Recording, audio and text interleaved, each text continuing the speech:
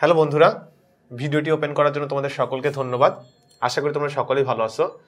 তো আজকে আমি তোমাদের একাদশ শ্রেণির ভূগোল প্রথম পত্র নিয়ে আলোচনা করব এবং আমাদের ভূগোল প্রথম পত্রের একটি গুরুত্বপূর্ণ অধ্যায়, প্রাকৃতিক ভূগোল। এই প্রাকৃতিক ভূগোলের দ্বিতীয় পর্বে আমরা আজকে প্রাকৃতিক ভূগোলের প্রকৃতি ও পরিসর নিয়ে কথা বলব। তো দেখো, আমরা প্রথম পর্বে প্রাকৃতিক ভূগোল সম্পর্কিত ধারণা অলরেডি আমরা পেয়ে গেছি। আমরা জানি যে প্রাকৃতিক ভূগোল কোনগুলো। জাস্ট আমরা আজকে প্রাকৃতিক ভূগোলের প্রকৃতি কেমন এবং তার পরিসরটা কেমন সেটা জানব। তো প্রকৃতি তো বলতে বুঝতেই পারছ যে তার আকৃতিটা, আকার আকৃতিটা কেমন সেটার কথা বলা হচ্ছে। আর যদি পরিসরের কথা বল- বলতে যাই আমরা, তাহলে পরিসরের ক্ষেত্রে আমরা দেখব এই প্রাকৃতিক ভূগোলই কতদূর পর্যন্ত বিস্তার লাভ করেছে, বিস্তৃত হয়েছে সে বিষয়টা। সুতরাং আমরা আজকের ক্লাসটি করার মাধ্যমে প্রাকৃতিক ভূগোলের প্রকৃতি ও পরিসর সম্পর্কে একটা ভালো ধারণা লাভ করব। তো আমরা এই ক্লাসটির যে বিষয়গুলো জানব, সেগুলো কিন্তু আমাদের, অর্থাৎ গ এবং ঘ নম্বরের যে আমরা সৃজনশীল প্রশ্ন অ্যান্সার করে থাকি, সেই সৃজনশীল প্রশ্ন, গ, ঘ নম্বরের সৃজনশীল প্রশ্নের জন্য কিন্তু খুবই গুরুত্বপূর্ণ টপিক হিসেবে বিবেচিত। তো আমরা প্রথমত দেখো প্রাকৃতিক ভূগোলের প্রকৃতি সম্পর্কে আলোচনা করি। আমাদের প্রথম আলোচনার বিষয় থাকবে প্রাকৃতিক ভূগোলের প্রকৃতি। প্রাকৃতিক ভূগোলের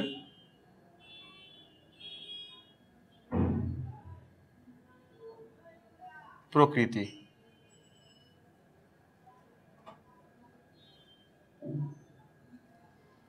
প্রাকৃতিক ভূগোলের প্রকৃতি। তো প্রাকৃতিক ভূগোল আমরা এক নম্বর বলতে পারি, এটি হচ্ছে সংক্ষিপ্ত করে আমরা লিখি, প্রাকৃতিক বিজ্ঞান। প্রকৃতি যদি আমরা বলতে যাই, তাহলে আমরা এটাকে বলতে পারি প্রাকৃতিক বিজ্ঞান। কেন প্রাকৃতিক বিজ্ঞান বলছি আমরা একে? এই প্রাকৃতিক ভূগোলের মাধ্যমেই আমাদের প্রকৃতি সম্পর্কে মানে পুঙ্খানুপুঙ্খভাবে বিচার বিশ্লেষণ করা হয়। বিশেষভাবে একটা তথ্য আরোহণ করা হয়, তথ্যটা বের করা হয়। তো বিজ্ঞান তো সেই কাজগুলোই করতেছে। সুতরাং আমাদের প্রাকৃতিক ভূগোলটা কি? আমাদের প্রকৃতি সম্পর্কিত বিজ্ঞান। অর্থাৎ প্রাকৃতিক ভূগোলের মাধ্যমে আমরা আমাদের প্রকৃতির বিস্তারিত দিকগুলো আমরা জানতে পারছি, আমরা বিচার বিশ্লেষণ করতে পারছি। এই কারণে আমরা এটি বলতেছি কি? প্রাকৃতিক বিজ্ঞান।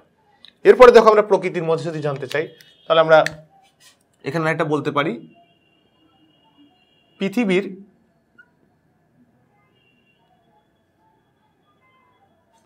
উৎপত্তি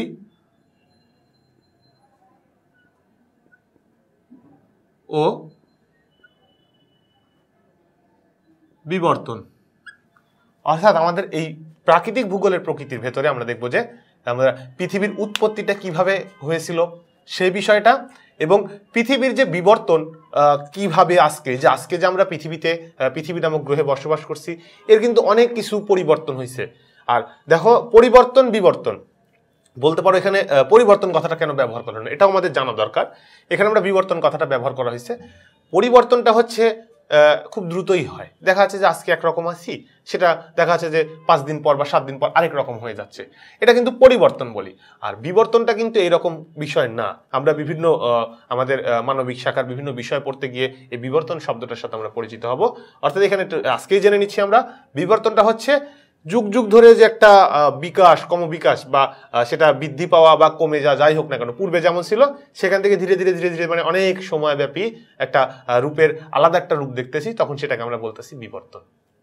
তো এখানে বলতেছে, পৃথিবীর উৎপত্তি এবং বিবর্তন সম্পর্কে আমাদের বিবর্তনটা হবে আমাদের প্রাকৃতিক ভূগোলের প্রকৃতির মধ্যে পড়তেছে। অর্থাৎ প্রাকৃতিক ভূগোলে পৃথিবীর উৎপত্তি, বিবর্তন সম্পর্কের বিষয়গুলো নিয়ে আলোচনা করা হচ্ছে। এরপর দেখো তিন নম্বর,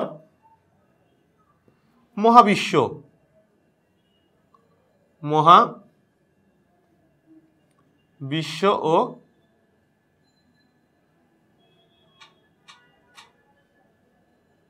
জ্যোতিষ্ক নিয়ে আলোচনা। জ্যোতিষ্ক নিয়ে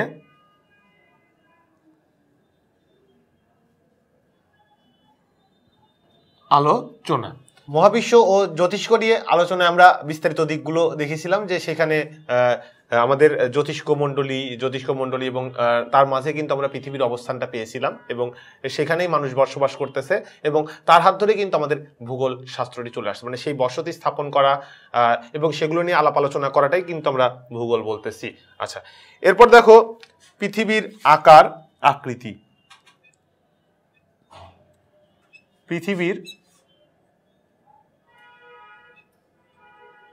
পৃথিবীর আকার,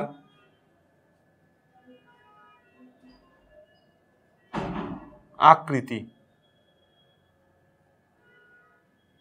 পৃথিবীর আকার, আকৃতি নির্ধারণ আমাদের এই প্রাকৃতিক ভূগোলের মধ্যে আসতেছে। কেননা, পৃথিবীটা তো আমাদের প্রক- প্রকৃতিরই একটি অংশ। সুতরাং আমাদের এই পৃথিবীর আকার, আকৃতি নিয়ে যখন আমরা আলোচনা করতেছি বা তার প্রকৃতিটা আমরা দেখতেছি, তখন আমরা দেখতেছি কি? পৃথিবীর আকার, আকৃতি। এছাড়া দেখো আমরা পরিমাপের কথা বলতে পারি। যে অক্ষাংশ দ্রাঘিমাংশ বিভিন্ন রেখাগুলো কল্পনা করা হয়েছে যে পৃথিবীর আকার আকৃতির মধ্যে। এগুলোকে ভাগ করা হয়েছে যেমন আমরা আমরা এটা জানি যে মাঝখান দিয়ে পৃথিবীর মাঝখান দিয়ে পূর্ব পশ্চিমে একটা রেখা কল্পনা করা হয়েছে যেটাকে আমরা অক্ষাংশ বলি। পৃথিবীর মাঝখান দিয়ে উত্তর দক্ষিণে একটা রেখা কল্পনা করা হয়েছে যেটাকে আমরা মূল মধ্য রেখা বলি। এছাড়া আহ, নিরক্ষরেখা থেকে আরও উপরে একটি রেখা কল্পনা করা হয়েছে যেটাকে আমরা কর্কটকান্তি দক্ষিণ আরেকটা তেইশ তেইশ দশমিক পাঁচ ডিগ্রি দক্ষিণে একটা রেখা কল্পনা করা হয়েছে যেটাকে আমরা বলি হচ্ছে মকরকান্তি। এছাড়া আরও রেখা রয়েছে মেরু রেখা অর্থাৎ ছেষট্টি দশমিক পাঁচ ডিগ্রি উত্তরের যে রেখাগুলো আমরা বলে থাকি, সেটাকে আমরা বলি হচ্ছে সুমেরু। ছেষট্টি দশমিক পাঁচ ডিগ্রি দক্ষিণে যেটা রয়েছে সেটাকে আমরা বলি কুমেরু। এই যে দেখো, আমাদের পৃথিবীর আকার, আকৃতি, পৃথিবীর মানে সার্বিক দিকগুলো আমাদের কিন্তু প্রাকৃতিক ভূগোলের অন্তর্ভুক্ত।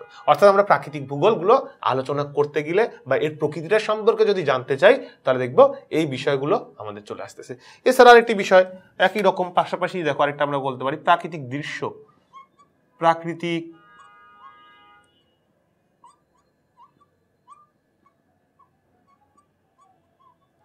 প্রাকৃতিক দৃশ্য সম্পর্কিত আলোচনাটাও কিন্তু আমাদের এই প্রাকৃতিক ভূগোলের প্রকৃতির অন্তর্ভুক্ত হচ্ছে। তাহলে এখানে আমরা যে বিষয়গুলো দেখলাম, যে প্রাকৃতিক ভূগোলের প্রকৃতি, তাহলে প্রকৃতিটা কেমন সেটা কিন্তু আমরা আশা করি বুঝতে পারছি যে প্রকৃতি বলতে প্রাকৃতিক ভূগোলের ভেতরে কোন বিষয়গুলো থাকতে পারে, প্রাকৃতিক ভূগোলের আলোচনাতে কি থাকতে পারে, সেটাই তো প্রকৃতি। আমরা একজন মানুষের প্রকৃতি দেখার মধ্যে একজন মানুষকে আমরা তার প্রকৃতি যদি দেখতে চাই, তার কথাবার্তা বলা, তার আচার ব্যবহার তার বাহ্যিক গঠন, সেটা তো আমরা দেখতেছি। আমরা প্রাকৃতিক ভূগোলের প্রকৃতি বলতেছি। প্রাকৃতিক ভূগোলের প্রকৃতির ভেতর কি জানলাম? এই যে বিষয়গুলো আমরা জানতে পারলাম যে আমরা প্রাকৃতিক ভূগোলগুলো যদি আমরা আলাপ আলোচনা করতে যাই, প্রাকৃতিক ভূগোল সম্পর্কিত ধারণা নিতে যাই, তাহলে আমাদের এই বিষয়গুলো চলে আসবে। তাহলে এটা কিন্তু আমাদের পরীক্ষার জন্য খুবই ইম্পর্টেন্ট সৃজনশীল প্রশ্ন অ্যান্সার করার জন্য। এবার দেখো পরিসর। পরিসর কথাটার সাথে তোমরা খুবই ভালোভাবে পরিচিত, আশা করি। এখানে পরিসরটা বলা বলা হচ্ছে পরিসর মানে এটা কত দূর পর্যন্ত এটা বিস্তৃত লাভ করতেছে সেটা। তো পরিসর আমরা চারটা দিক নিয়ে আলোচনা করব পরিসরের। একটা হচ্ছে ভূমিরূপ বিদ্যা ভূমিরূপ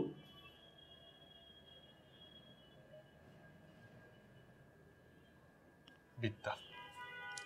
ভূমির অবস্থান, ভূমির আকার, ভূমির আকৃতি, ভূমির গঠন, এই বিষয় নিয়ে কিন্তু আমাদের এই প্রাকৃতিক ভূগোল আলোচনা করা হয়।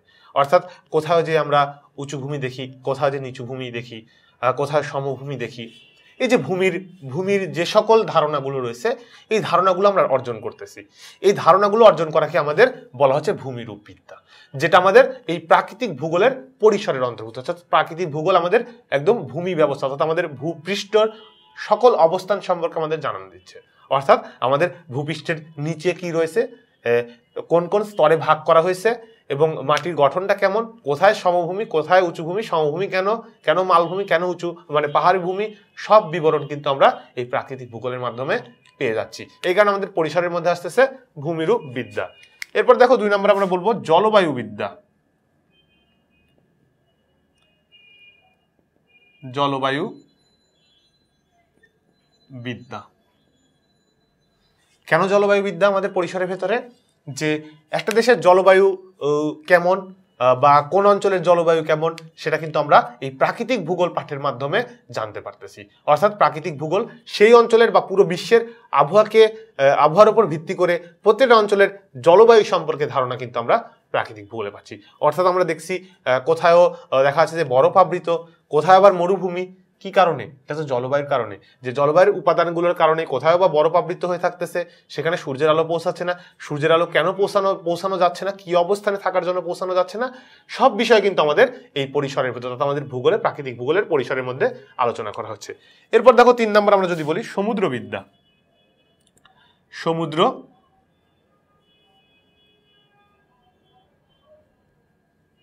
বিদ্যা।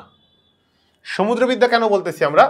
যে এখানে আমরা দেখব যে আমাদের অধিকার মানে আমাদের যদি আমরা পুরো অংশটা দেখতে চাই, সমগ্র বিশ্বটা অর্থাৎ পৃথিবীর অবস্থান যদি দেখতে চাই, তাহলে দেখব যে অধিকাংশ জায়গা জুড়ে মানে মানুষ যে স্থলভাগে বসবাস করছে, সেই স্থলভাগে বসবাস করার চেয়ে জলভাগের পরিমাণটাই কিন্তু বেশি। তাহলে এই যে জলভাগের পরিমাণটা বেশি, এই জলভাগগুলো বর্তমান সময়ে আমাদের বাণিজ্যের ক্ষেত্রেও গুরুত্বপূর্ণ ভূমিকা পালন করছে। কারণ আমরা এই জলপথকেই আমাদের কিন্তু ভারী পণ্য আনা নেওয়ার ক্ষেত্রে ব্যবহার করছি। তাহলে এই যে সমুদ্রের স্রোত সমুদ্রের মানে সমুদ্র স্রোতের কারণ, বিভিন্ন ধরনের সমুদ্র স্রোত, আটলান্টিক মহাসাগরের স্রোত, ভারত মহাসাগরীয় স্রোত, প্রশান্ত মহাসাগরীয় স্রোত, এই যে স্রোত সম্পর্কিত যে ধারণাগুলো আমরা পাচ্ছি, সেটা কিন্তু আমাদের সমুদ্রবিদ্যার মধ্যে পাচ্ছি। এরপর লাস্ট আরেকটি আছে, দেখো আমরা পরিসরের মধ্যে আরেকটি দেখতে পাই, জীবমণ্ডল। জীব।